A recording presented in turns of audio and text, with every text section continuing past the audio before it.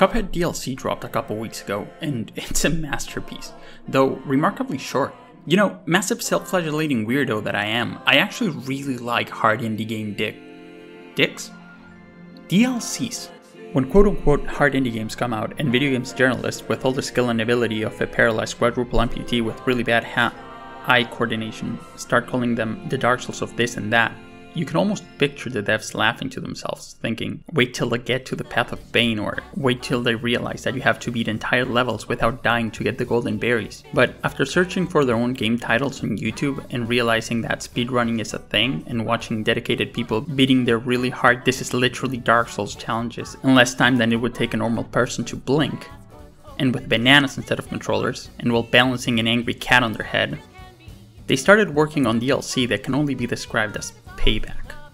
Celeste, taking a really difficult and previously unused mechanic and implementing it all over levels, which difficulty would make anyone working at IGN pull out Cheat Engine faster than Usain Bolt riding on a nitrous oxide powered cheetah. But mainly Hollow Knight, with its boss rush mode that has over 40 bosses and you have to restart the whole thing if you die at any point, which is the kind of challenge that I really like and I find refreshing and rewarding. But instead of stopping there, they added a mode where you can fight the same 40 plus boss rush, but with reduced health, reduced mana pool, one tenth of your damage, and with no items equipped, and while balancing an angry cat on your head. So after that I was hoping for the Cuphead DLC to bash my head in so hard I'd be reverse birthed out of my own ass, but Instead, the Cuphead DLC was not only surprisingly easy, but it also made the base game retroactively easier as well.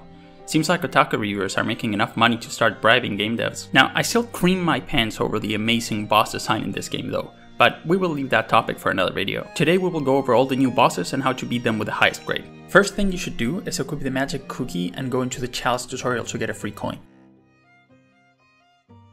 Then go behind the shop and get the second free coin. Hopefully you don't need any help this far, but if you do, you probably work for some of the previously mentioned websites, which means you need more help than I can give you. Right after this, I recommend you go to the ladder straight down. This is how you earn money in the DLC, so we will get all of these out of the way first, so we are able to purchase 3 items that are core to making the main bosses a whole lot easier. You won't be able to fight all the chest bosses at once, but I will still cover them all in one go. You can't use weapons or relics for this, so we're going in raw. First come the pawns.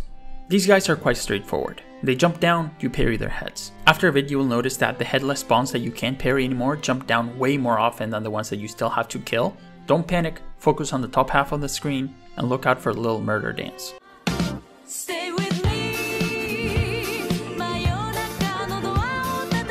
They do this before they jump down at you. After landing, they will always run at you, which means that the bottom half of the screen is pretty predictable. So keep your focus on the top half of the screen, and as soon as the penguins start dancing, get ready to parry. Then the horse, which is one of my favorite bosses from the DLC. He might seem quite hard at first, but for every one of his attacks you can hit him back at least 3 or 4 times. So let's go over his moves. Attack 1 is Surprise Colonoscopy, where he thrusts his sword upwards. He first crouches down, and this is your cue to jump on his head, parry twice and dash out. If you're fast enough, you can fit 3 parries instead. Attack 2 is the charge. This is the only one as far as I know where you can parry 4 times, but it is extremely hard. Unless you're speedrunning, go for 2 or 3. He positions like this, then charges, and after he's done, he pants for a bit. The proper reaction to this move is walk away if you're close, then jump, parry once as he charges beneath you, then if you're going for the safer 2 hits, just land, and as he pants, get your second parry in. But if you're going for the big dick option, after the first parry, dash towards him, then parry a second time, then a third. And if you're going for the speed run, jump on him just as he starts the animation, then dash, parry, and parry two additional times. Attack 3 is the not surprise colonoscopy, where he crouches but instead of trying to ram his sword up an unsuspecting rectum, he does a really big swipe and then pants. You need to get good at recognizing the difference between these two tells, so you don't fall for the bait. If he's doing this, you need to either walk or dash away, depending on how close you were, and just parry twice as he pants. Or if you're a Giga Chad, just jump on top of him really fast, parry, dash away, and parry twice as he pants for 3 hits. You might be able to fit a fourth here if you're fast enough, but I just couldn't manage it. If you're not sure if he's doing first or third attack, just walk away and don't go for a hit. Sometimes it's better to play it safe. After this, the bishop is really simple. It's an attrition battle, so as long as you don't choke, you should be fine. He just glides around in a fixed pattern. He shoots spells that after some time move towards you really slowly. When he's pink, you can parry him. When he's not, you need to touch the candles to put them out. Take this fight slow, make note of the pattern he's following each time he spawns and get out of his way. The Rook is really interesting actually. There are two approaches you could take. First one, if you want to lose, you could try to parry every single pink head that comes your way and try to rush him down in about 15 seconds, which is deeply satisfying and really fucking dumb. If you want to beat this boss consistently, just play it safe, focus mostly on dodging, and when you see a pink head that is safe to go for, go for it. Then follow it to make sure you hit it a second or third time so it connects with the boss. Keep in mind that many of the heads that seem that they won't connect actually do, and don't be afraid to lose a head that you were trying to use to forego taking damage. Also, you can duck underneath these sparks, and the position where you parry the heads matters. So try to parry them in an arc towards the boss to cover the most distance. So don't get greedy, and you'll be giving this boss head in no time. I hate myself. Last chess boss is by far the hardest. The queen only has two attacks. First, she spawns a tower of flies, as queens are known to do, and second, she throws money at you, which I find quite unrealistic. Now, the lions you parry and the money you avoid. If she only has two moves, why is this boss so hard? Well, like for a tall man with a crude urethra, aiming the cannon is a bit of a hassle. What I recommend is the first half of the fight, that would be all the way up until you've hit her 5 times, play really aggressively and try to aim the cannons at her head. This will get you good at timing them with her movement, and will serve as great if frustrating practice. Then after that, play more and more passive as the fight goes on, only going for safer and safer cannons until one finally connects. The main attack to watch out for when playing safe is the lions. They get pretty fast later into the fight, and if you don't have enough space, you might not be able to jump for the parry before they hit you. Before we move to the main bosses, if you want to do the chess gauntlet that becomes available after you beat all bosses for the achievement, my recommendation is that you try to beat each individual boss at least once without losing any health, and focus on the queen the most since she's the hardest, and the last boss. There's two things you can do to make this DLC a cakewalk if you're really struggling, and I want to mention these before we move on. First is that if you spin in place, you can get up to 9 HP for your next fight if it's not an expert, surely a clause on the contract that Dev signed when taking that big bag of Game Reviewer money. The second one does require you to kill a couple bosses from DLC, but since I will cover how to kill them all with an S rank, I want to cover this first since it's relevant to the explanations later on. So let's talk about the Broken Relic, which is a really on point name actually. You buy it from Pigment for 1 gold coin. After this, we will head to the Moonshine Mob and the Crazy Cow bosses. With both of these down, we can now access this cemetery, and if we equip the Broken Relic, we can interact with tombstones. But you have to solve a puzzle to activate them. Now, I can't give you the answer because it's randomized for each player, but what you have to do is go talk to these guys on the podium. For me, the guy that came in first said something with right, the guy that came in second something with left, and the one that came in third something with down left. So the tombstones that have to interact with are right, left, and bottom left in that order. If you did this right, the middle tomb is now glowing, and you can interact with it to fall asleep on it which starts a boss fight. This boss doesn't give a rank, so we won't go over deep strategy for it, since all we have to do is beat it. The gimmick for this fight is that there's an angel and a devil. Whichever you're looking at will always be the devil, whichever you're not is always the angel. The angel can't damage you, but the devil can. And this gimmick comes into play mainly with the pillars, which you need to turn around for them to become water and not damage you. My recommendation here is that you ignore the gimmick entirely, equip the smoke bomb, and just dodge through the pillar. And avoid every projectile as if it was going to damage you. We will talk about weapons and relics later, but for this boss I recommend you use the crack shot, which you can buy from the pig shop.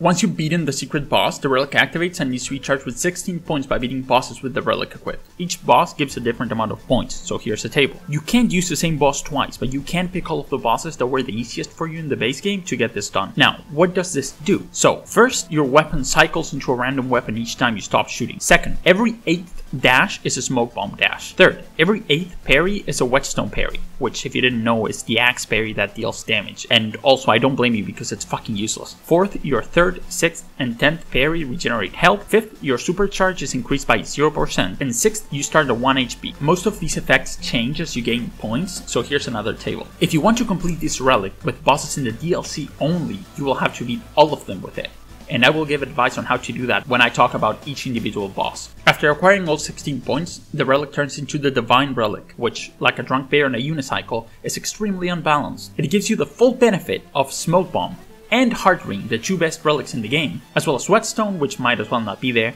and a stronger version of the Coffee Relic. It also doesn't start you at 1 HP anymore, but still keeps cycling your weapons all the same. This guide will assume that you're not using this for the sake of challenge, but feel free to make the game easier on yourself by using this. Just know that I will personally judge you. You're just a chicken. Chip, chip, chip, chip, chip, chip. Now, one last quick thing before we move to the main bosses. Let's talk items. From all the new weapons and relics introduced, only two stand out to me. If you're not a goldfish, you might remember me recommending the crack shot two minutes ago. And that is because it is, like Bob Dylan holding a concert inside of a Jolly Rancher, fucking sweet. The crack shot is crap. It's the most broken weapon in the game, and we will use it a lot. What this does is fire a projectile, and if it misses, it splits, and it fires a second, smaller projectile straight at the enemy. So if you directly hit the enemy, this is just a regular shot that deals 10.5 damage. To put that in perspective, the roundabout only does 8.5 and the lover does just a little bit more at 11.6. Now, the lover, despite dealing more damage, has the downside of being fucking useless, and the roundabout has the downside that you can't really fire it in the direction you're looking. So naturally, the crack shot has a disadvantage that if you miss, it actually just auto aims for you and hits anyways. Yeah, sure, the auto aim shot deals less damage though, at 6.78, but the chaser does the same thing without the versatility and only deals 2.85. On top of this, the EX move fires a small planet that acts as a small turret, automatically attacking the boss, and you can parry it to shoot it at the enemy, which is even better than it sounds, since being able to create a stationary parryable projectile is almost as good as making your own platforms. And on top on top of that, this has amazing synergy with the heart ring. Extremely smooth segue. In the previous segment, I compared this to the smoke bomb. Now, if you played Cuphead before the DLC, you might remember the smoke bomb as the only useful relic in the game. So when I say we're gonna be using the heart ring over the smoke bomb, that speaks volumes to how broken this is. This relic lets you recover health with your first, third, and sixth parry which basically means that if you parry 6 times in a fight, you actually have twice the amount of base health to work with. Also, the planet turret from the super attack on the crack shot counts towards this.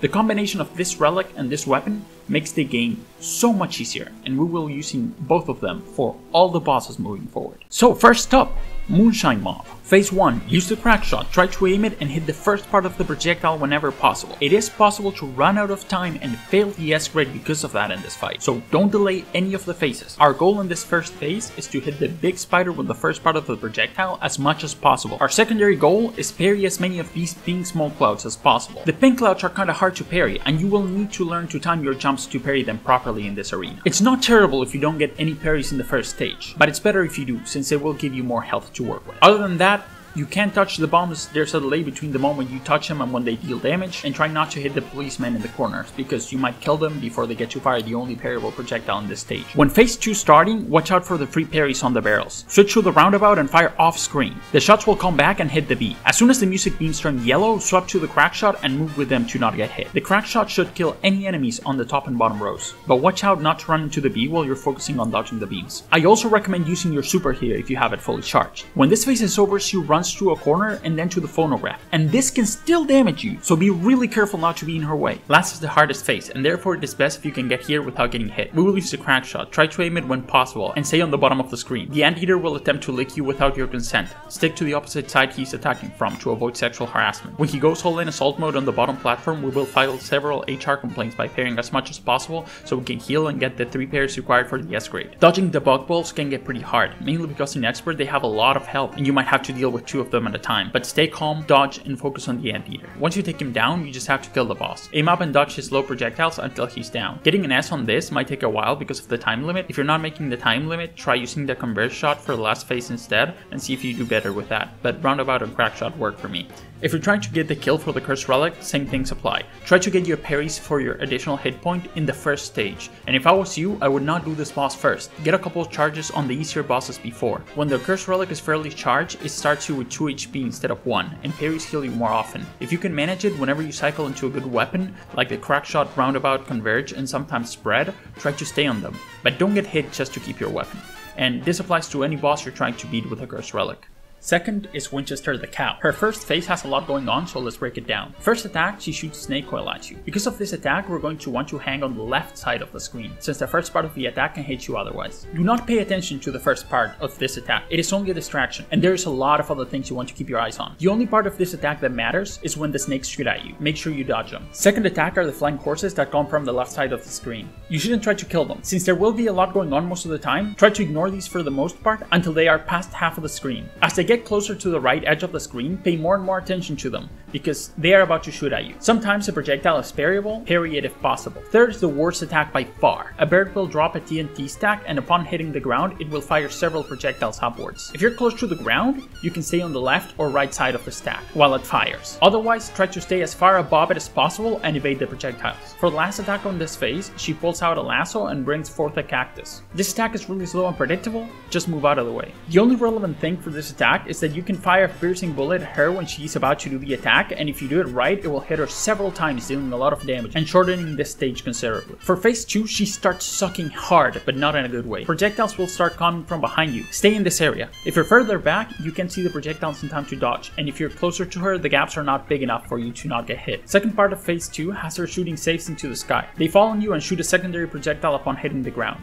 At least one of these will be parryable, so get it if possible. If you want to make this phase shorter, you can use your special on her while she crouches down since her hitbox is a lot wider and you deal a lot more damage that way. Phase 3 can be a bit hard. Watch out for where the opening on the beam cans are facing and focus on dodging them. She will try to hit you with her meat, and I'm starting to see a pattern on these bosses. The meat has a really wide spiraling pattern. You can either move to the top or bottom half of the screen to be as far from it as possible, or you can wait for it to get close and as soon as you see a gap, move forward past it. If you struggle a lot with this phase, you can spam your bullet special at her. Her hitbox is very wide here, and it will make this go by a lot faster. But I don't recommend you fire more than 2 or 3 specials, because you should try to get to phase 4 with a special fully charged. Phase 4 isn't really hard, but it is really late in the fight, and it is certainly the one that you will get to practice the least. And it is really easy to choke on, because it isn't particularly easy either. The peppers are pretty slow, so you just want to focus on the holes in the sausage strings and plan on how you're going to get through them on each pass. Other than that, focus on surviving and either spam your supers with the piercing bullet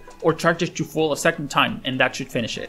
In regards to the Cursed Relic, if you're going for DLC bosses only, you should probably start with this one, since the weapon cycling barely affects you because you only have two weapons, and you have plenty of opportunities to parry. If you get good enough at the first two stages, this boss should be fairly manageable. Third boss is the Hot Dog. Yes, I said it. MDHR knew what they were doing, continuing the Sonic history of putting titties on anthropomorphic animals, guaranteeing that this character's Rule 34 will have a page count on the three digits, and thus proliferating the cycle of kids that grow up with weird ideas about animals, giving their house pets weird looks, and growing up into the kind of person for which putting on a $10,000 animal suit is the only way they can get off.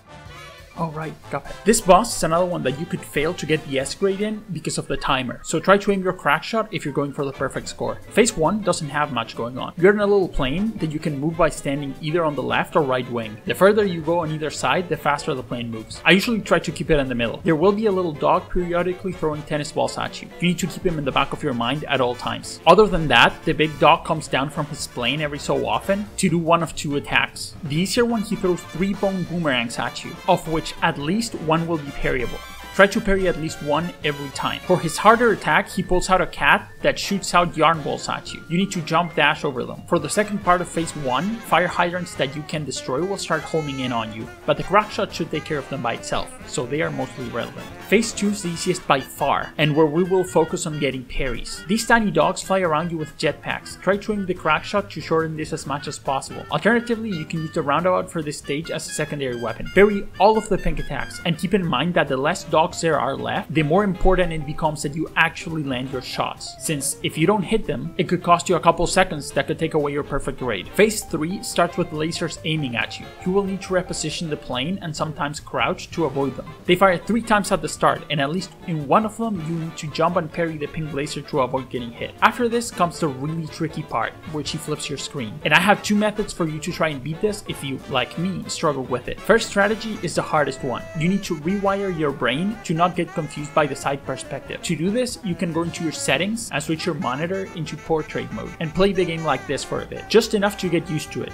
Then flip it the other way and after that start getting Tricen. Now the reason why I'm not giving full instructions on how to do the screen flipping thing is because I much prefer the second method, which is also much simpler and requires almost no practice. So if you don't mind looking like a mouth breather, when she starts flipping your screen, stand up from your seat and crook your head to the side like a dog asking for leftovers. I personally prefer to turn most of my upper body, but that is down to personal preference. For me, doing that made this stage so easy. It was not even a problem. Of course, I don't recommend you do a handstand when she turns you upside down. since left is still left and right is still right and jump is still jump. It was really easy to get used to dodging the three lasers with the screen upside down. For the Cursed Relic, this boss you should probably do second, since it offers plenty of opportunities to parry from the start so you can get your health up. Next up is Freezeman, in my opinion one of the harder bosses of the DLC. As per usual, we're rocking the crack shot and the heart ring. For phase 1, you only have a couple attacks, all fairly straightforward. The most annoying one, he shoots 4 ice children at you. They're always a bit apart, so you want to be somewhere in between them. As soon as they land, try to kill them by ducking and shooting to get them out of the way. Attack 2, he just pulls out a big whale and slams it down. This is really slow and easy to dodge, but it is usually combined with the first attack, and you might be stuck in between the ice children. If this happens, just jump. The third attack just throws cards at you. Sometimes one will be parryable, parry whenever possible to start stacking health. This is even more important considering this is the easiest parryable projectile in this fight, so it is ideal to get two of them in phase 1 if you're lucky. Phase 2 is the hardest one, mainly because there is many things happening at once, and they are fairly quick and unpredictable. For the first attack, you need to pay attention to the animations he does when he's in snowman form. He has three possible attacks, one where he dashes to the other side of the screen. If you see this, you need to jump over him. One where he jumps over to the other side of the screen. If you see this, you need to stay still, and run where he slams on the floor and swords come out of it. If you see this, you need to jump and dash over them. Now, the real problem with this phase is when he turns into a fridge. This is not good. When this happens, he will shoot either medium-sized ice cubes that break down into small ice cubes when they hit the floor, or big ice cubes that break down into medium ones when they hit the floor, which will in turn break down into small ones when they hit the floor, while you break down and cry because an ice lolly shoved itself up your ass while you weren't looking. Speaking of which, it will unleash a swarm of ice pops, which will all come back and try to hit you as you keep fighting him. When his fridge attack stops, he will go back to doing his other attacks while the ice cubes are still bouncing around and the ice pops are trying to get you. This is the hardest part in the fight, and you will need to practice it a lot. Try to aim the crack shot close to the boss so you don't accidentally kill the pink ice pops, which you really want to parry for the extra health. Also, in the transitions between each stage, you should spawn planet turrets and parry them for more health. When you manage to get through phase 2, phase 3 is also really hard and really easy to choke. You want to play this phase as slow as possible. Your main goal here is to survive while the crack shot does its thing. He has three attacks in this stage. First one, he pops out an eyeball that goes in a circle, periodically firing a laser. You just need to go through it twice. So wait until right after it shoots a laser, dash through, then do it again. This is easier said than done though. The fast moving platforms make it quite a challenge. It will take practice, but it is doable. Second attack, he just throws three buckets. When they reach the opposite end of the screen, they explode into three projectiles. Normally easy to dodge, but the moving platforms make this a nightmare. One of the buckets will always be parryable. Go for it if it's easy, otherwise avoid it. If you need more parries for heals, there's always planet turret. Last attack, he summons 6 pointy hat snowballs that go across the screen. Again, normally, really easy to avoid. On fast moving platforms, it will require some work. If you're going for the relic kill, this should be one of the last bosses you go for, since it's one of the hardest by far.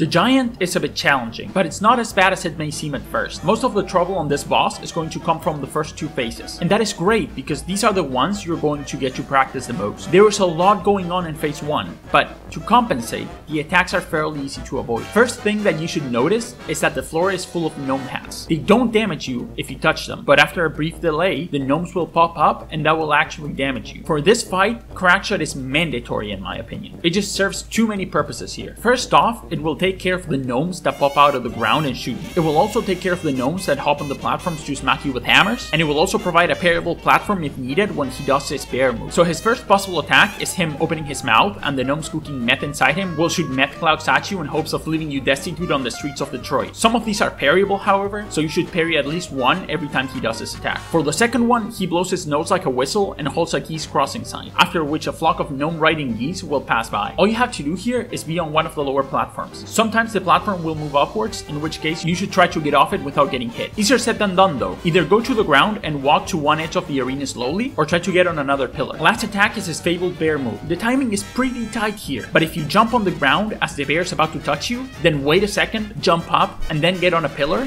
you should be able to get out of it without taking damage. That is really hard though, so what I recommend is when you see him reaching in his pocket for that bear, you shoot a planet at him, and as the bear is getting close to you, you jump and parry. You should have more than enough time this way to return to the platform after the bear is gone. Phase 2 is deceptively simple. These two hand puppets just pass a ball around while gnomes pop up from underground to try and hit you. You can tell where the ball is going by looking at the puppet's positioning. If they are both at the same height, the ball will bounce in the middle, which means the left and right areas are safe. If one puppet is high and the other one is low, it means the ball will bounce closer to the puppet that is lower down. So the area near the higher puppet should be safe. Keeping this in mind, try not to look that much at the puppets or the ball, and keep your full attention on the ground and the jumping gnomes. There's a lot of them, and it gets really overwhelming. Some of them will be parryable, but I recommend you ignore them. Thankfully, phase 3 is quite easy. There's few things going on here. The main mechanic of this phase is the bosses shooting food at the platforms that you're standing on, making them go under the acid. After a couple of them are down, one of them will turn into a parryable platform that you should parry as soon as possible, which will bring all platforms back up. Alongside this, there will be gnomes popping from the sides shooting darts at you. Some of these will be parryable. Everything in this phase goes pretty slow, so it's fairly easy to deal with. I choose to use the crack shot for the whole fight here. You can use the roundabout and the converge shot in phases 1 and 2 if you like. I like the fact that the crack shot took care of the little gnomes by itself too much, so I stuck by it. If you do decide to switch weapons in phase 1, the bear might make you struggle, so you might want to hot swap back to the crack shot when the bear shows up. This boss is not that hard with the cursed relic. You have plenty of parries to land on phase 1, and since you only need to beat him in normal difficulty, phase 2 is way less overwhelming. You could choose to do this boss second or third. Last is the twist villain of the DLC, Chef Saltbaker. This boss is ruthless, and getting him down with a perfect score would have certainly taken really long without the heart ring. Phase 1 is a clusterfuck designed to overwhelm you. There will be too much going on, and you will have to react fast. First thing I want to say about this phase is ignore the background. Learn to look at projectiles only, and focus on them exclusively. There's 4 main attacks that you will do in this phase, and individually they aren't that bad. The problem is that you will be dealing with at least 2 of these at a time for most of the fight, and at some points even 3. So let's break them down. First one is sugar cubes. These go on an S pattern across the arena, and it is the only parryable attack in these phase. Two of the cubes will be pink. Always parry them if possible. The limes will just move in a straight line at three different heights. The strawberries will rain from above diagonally, and the cookies will jump from one side of the screen to the other. These can be destroyed by shooting. You can see what attacks are coming at you and which way they are coming from by watching Saltbaker in the background, but I recommend you don't do this since the information is not that valuable and it will only distract you. What actually makes this phase a nightmare are the flames at the top of the screen that will constantly jump at you in an arc, while you are dodging everything else. Always keep an eye on these and don't get too far away from them. The closer you are to them, the smaller the arc will be, so try and keep them together so the attack covers as little ground as possible. This phase is not easy. Aim up all the time so you can hit the full projectile on the boss as much as you can to not make this phase any longer than it needs to be. Phase 2 is surprisingly tame compared to phase 1.